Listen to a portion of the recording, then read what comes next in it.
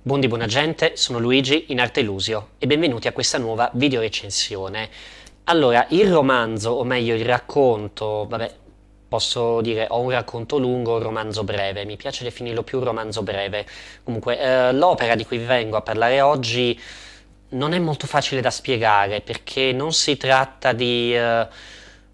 un, uh, un, qualcosa di narrativamente tradizionale. Ecco, mi verrebbe da definirlo una sorta di uh, opera d'arte. No, nemmeno opera d'arte perché sarebbe un po' troppo esagerato. Non, no, non dico esagerato, ma uh, ecco, non restituirebbe bene appieno il senso di quello che, è, che mi ha lasciato questo racconto, questo romanzo. Mm, per dirvi, sapete cosa mi ha fatto venire in mente? Avete presente quei quadri cinquecenteschi che raccontavano una storia rappresentandola su più piani all'interno di un unico quadro? Quindi, che so, in primo piano si metteva il, il focus della narrazione, il punto centrale, su uh, più indietro si metteva l'inizio e sullo sfondo la conclusione del racconto. Ecco. Oppure tipo i, uh, gli arazzi che messi in linea seguendo la trama ti raccontavano tutta una vicenda che tu svelavi a poco a poco. Ecco, questo racconto, questo romanzo mi verrebbe da definirlo proprio un arazzo, un arazzo che però tu devi interpretare perché l'artista, colui che l'ha, colui, colei che l'ha ricamato, ti ha lasciato degli indizi per comprenderne la storia, ma non ti ha lasciato un manuale chiaro per uh, capire bene tutto e tu non hai una guida che ti spieghi l'antefatto, la, la lore e la conclusione. Mm, bando alle ciance, oggi vi parlo di Nella verde gola delle lupe, racconto o romanzo scritto a quattro mani da Lucrezia Pei e Ornella Soncini e illustrato da Marco Calvi, un artista che, che, seguo su Instagram, molto bravo, il suo stile come potete vedere anche dalla copertina è bellissimo, a me piace molto il suo stile, confesso che ho voluto leggere quest'opera principalmente perché ero rimasto incantato dalle illustrazioni fatte da Marco, e, um, però non me ne sono pentito perché le illustrazioni sono importantissime perché ti portano e ti veicolano lungo la narrazione. La, la, e quindi ne sono parte integrante, ma la storia in sé è bellissima. Allora, mm, non so come parlarvi appieno della trama, perché come vi ho detto già all'inizio, non è narrativamente convenzionale come storia, perché è come, se posso citare un poco lo stile di Virginia Woolf, è un racconto che non si preoccupa di, di, darti un incipit, un principio, un prologo, uno svolgimento e una fine in cui ti viene raccontato e spiegato tutto nel dettaglio, ogni cosa, no. Cioè, l'antefatto ti viene rivelato a poco a poco, a mano avanti che vai con la lettura, ma all'inizio ti lascia completamente sconvolto, non ti spiega niente, ti butta direttamente a capofitto all'interno della narrazione, del contesto che fa da cornice a questo, a questo romanzo breve e tu devi districarti tra queste informazioni, devi cercare di comprendere, magari ti perdi qualche passaggio lungo la strada. Uh, poi eh, però alla fine, a mano che vai avanti, capisci certe cose. Alcune cose magari non ti vengono mai spiegate concretamente, altre magari le interpreti, te ne fai tu un'idea. Io ad esempio mi sono fatto una mia idea che non so se è quella che, volesse, che le autrici volevano rendere, però è una spiegazione che bene o male ho dedotto e che mi sono dovuto anche far bastare perché la conclusione, per quanto sia presente, ti lascia con molte domande, non ti fa capire ad esempio come andrà avanti. Magari quindi questo potrebbe dispiacere un po' ai lettori che si aspettano una storia completa, però secondo me questa mancanza di uh, una spiegazione definitiva per ogni domanda che sorge in questo racconto, secondo me è quello che fa, che rende questo romanzo degno di essere letto e soprattutto penso sia il suo miglior pregio, perché permette al lettore, alla lettrice di... Uh, mh, di farsi un'idea, di cercare di comprendere appieno, di fare quello sforzo maggiore in più per, per, comprendere la narrazione. Ecco, con questa premessa provo un po' a farvi un sunto della trama. Allora, ci troviamo in una comunità di donne lupo all'interno di una foresta che vivono secondo un determinato ordine religioso, secondo, eh, secondo un determinato culto, che sembra essere un po' un mix di antichi culti pagani, come ad esempio il culto, io ho pensato subito al culto della dea Diana o della dea Ecate, che um, se consideriamo la riscoperta della stregoneria tra fine 800 e inizio 900 venivano viste come uh, numi tutelari della stregoneria, Uh, ma anche con un mix di cristianesimo. Infatti, questa comunità di donne non nominano mai una, una, de- una divinità maschile, ma nominano sempre una divinità femminile, nostra donna, che da come ci viene lasciato intendere altri non sarebbe che una raffigurazione della Vergine Maria e soprattutto poi si basano sull'esempio di una santa patrona, Santa Agilulfa e qui ne approfitto per mostrarvi magari le doti de, di Marco Calvi, ecco qua un'illustrazione di Santa Agilulfa, bellissimo, proprio uno stile bellissimo. Io mi sono innamorato di questa illustrazione. Uh, Santa Agilulfa che sembra quasi Avete presente la principessa presente nella leggenda di San Giorgio? Ecco, la principessa che viene salvata dal drago uh, ferito a morte da San Giorgio, San Giorgio che chiede alla principessa di mettere la sua cintura al collo del drago in modo da portarlo nella sua città dove il drago verrà ucciso. Ecco, questa è la principessa di San Giorgio che si salva da sola, senza l'intercessione maschile, e non deve combattere contro un drago, ma contro questo lupo enorme, questa sorta di ferrir divoratore. E qui il tema del lupo è molto importante, basti pensare appunto il titolo, nella verde gola delle lupe. il lupo che in questo racconto ha una doppia ambivalenza, come tutto ciò che ha a che fare con la natura, la natura che è benevola e malefica al tempo stesso, e il lupo che è al tempo stesso malvagio, oscuro, malefico, come appunto l'uomo, gli uomini, i maschi visti eh, da questa comunità di donne,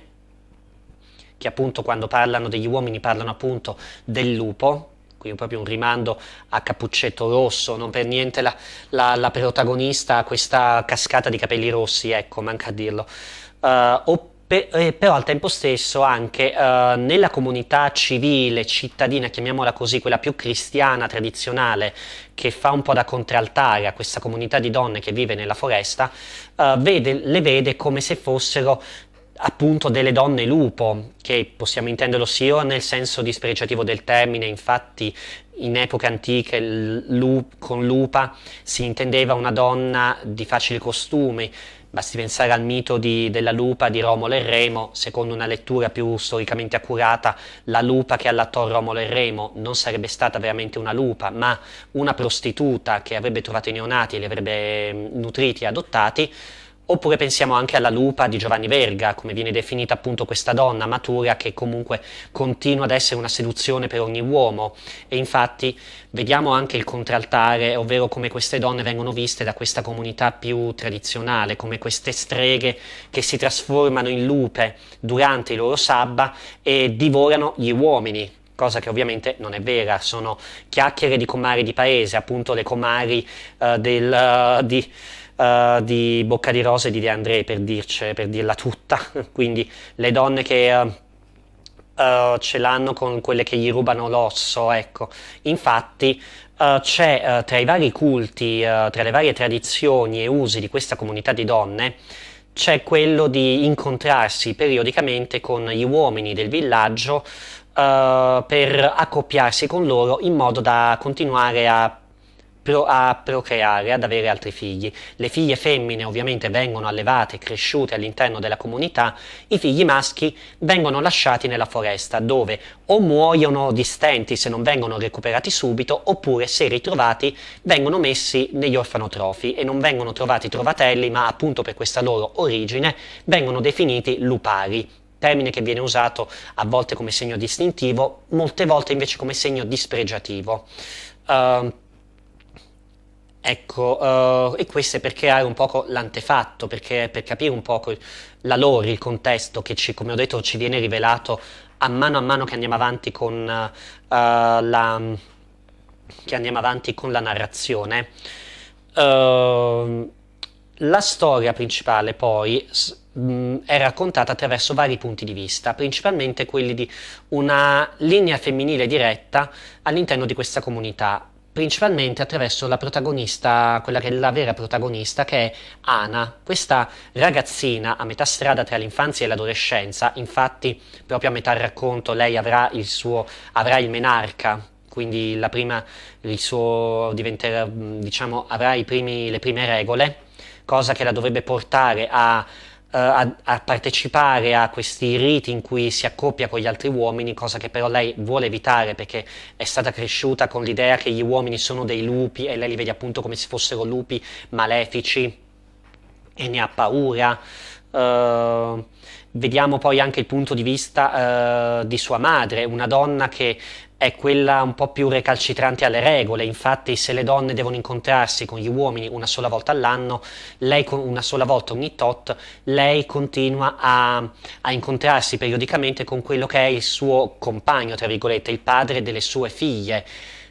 che sembra essere collegato a lei molto più strettamente di quanto non si direbbe, almeno questa è l'idea che ne ho tratto io da certi elementi che ritornano. Quindi, come vediamo, questa è una cosa narrativamente inaspettata. Di solito è sempre la protagonista giovane che uh, si ribella alle regole e comunque Ana, la protagonista, si ribella alle regole. Lei cerca di scoprire le cose alle quali di scoprire qualcosa in più, ad esempio si avvicina ai testi sacri della sua comunità quando non dovrebbe, eccetera però è la donna adulta che si ribella alle convenzioni, laddove invece ha una figlia mezzana che comunque è un po' ribelle come lei, due figlie piccole, ancora bambine, e una figlia grande che vive questa, le regole della comunità in cui vive con, um, come se non avesse, diciamo, uh, come posso dire, come se non avesse uh, altre possibilità, senza se, senza ma, si lascia andare al flusso e dall'altro invece abbiamo la nonna, la matriarca, quella che è un po' delle, tra le prime fondatrici di questa comunità, a suo modo anche piuttosto recente, che è quella molto ligia alle regole, agli ordinamenti di questa società, che è consapevole dei rischi del resto del mondo. Uh, quindi abbiamo questo racconto a più voci che, che a mano a mano, a seconda dei punti di vista, ci racconta la vita all'interno di questa comunità e ci racconta cosa si nasconde. Uh, nei segreti di quello che avviene nei non detti, alle volte non rivelando tutto, altre volte rivelando, altre volte lasciando al lettore o alla lettrice libera interpretazione. Tutto questo poi è contornato, come vi ho detto, dalle illustrazioni di Marco Calvi. Allora, mi piacerebbe mostrarvene qualcuna in più, ma non posso perché, uh, come posso dire, vi toglierei prima di tutto il piacere della lettura e della scoperta, dall'altro diciamo che uh, c'è una resa di illustrazione, c'è ad esempio questa qui che ve la vorrei mostrare, però non posso, anche perché c'è, come potete vedere anche dalla copertina, c'è una grande cura nella rappresentazione del corpo femminile ma non è mai uh, con questo nudo anche completo e anche esplicito, ma non è mai volgare, anzi è un nudo che mi verrebbe da definire sacrale. Qui la donna non viene, nella sua nudità non viene oggettificata, viene sacramentata. Il nudo qui è molto uh, sacrale, uh, ci viene rappresentata la donna nuda come Ana, ancora innocente, appunto, non toccata da, da mano umana, dall'altro vediamo anche la donna vista come creatrice di vita, quindi con queste donne gravide che rimandano molto molto alle sculture uh, delle, venere, delle veneri madre terra, quelle dei, dei popoli primitivi, con questi ventri prominenti, questi seni gonfi e uh, uh, queste vagine ben in evidenza, ma non è mai volgare, anzi è molto simbolico e soprattutto lo so, per molti potrebbe sembrare quasi un controsenso, ma secondo me un controsenso non c'è. È molto rispettoso della, del corpo femminile, restituisce la femminilità alla sua essenza, Dan, senza toglierne in alcun modo la dignità, perché appunto questo racconto è proprio secondo me un, un, elogio alla femminilità, alla femminilità presa nella sua forza più pura, che è la femminilità, quella che crea la vita, ma non uh, unicamente per sottomettersi alla volontà del maschio, questo no. Le donne qui creano già... Uh, ma vivono anche indipendentemente, anche a costo di risultare appunto alla stregua delle streghe, diventando poi loro stesse delle lupe. Qua anche si, con, con, si porta anche il binomio del lupo visto come entità negativa se accostata all'universo maschile, ma anche come femma positivo se rapportato alla comunità femminile, che appunto sono le lupe. Uh, e, um, E uh, il finale, allora, posso dirvi, allora, il finale si presta a molte teorie e, uh, ed è aperto. Mi piacerebbe parlarvene per dirvi un po' cosa ne ho pensato io, ma mh, ho, pa- ho, troppa paura di... non solo vi rovinerei la lettura, ecco, se lo facessi. Casomai per chi ha letto e ne vuole parlare può magari uh, lasciare un commento qui giù e ne parliamo, ovviamente con l'allerta spoiler. E beh... Che altro dirvi ragazzi, è un, è un testo che vi, uh, che vi, consiglio, è molto bello, da un punto di vista stilistico mi ha ricordato molto a Ruina di uh, uh, Francesco Iannone per questa sua simbiosi tra realismo e fiabesco, o anche Siamo vissuti qui dal giorno in cui siamo nati di Andreas Moster uh, per, questo, per il tipo di racconto esistenziale dai toni molto mont- montagnosi, uh, naturalistici, ecco, in cui respiri appieno la natura e la selvatichezza e anche un po' il pericolo annidato all'interno della natura. Per cui ve lo consiglio di cuore. E spero di cuore, quindi io concludo qua la, la, mia recensione, spero di cuore che vi sia piaciuto, lasciatemi un like se così è stato, commentate, ditemi la vostra se avete, avete letto anche voi nella verde gola delle lupe, se sì, ditemi voi cosa ne avete pensato, se vi è piaciuto o non vi è piaciuto, quali teorie uh, vi siete fatti sul suo finale, ditemi la vostra, sono curioso di, di sentire la vostra, oppure uh, non l'avete ancora letto ma vi ha incuriosito leggerlo, conoscevate l'opera, lo stile di Marco Calvi, Mm, fatemi sapere la vostra qui giù nei commenti. Iscrivetevi al mio canale per rimanere aggiornati sui miei prossimi video, mettete mi piace alla mia pagina Facebook, seguitemi anche su Instagram sempre se volete, vi ricordo che se volete sostenere il mio canale potete acquistare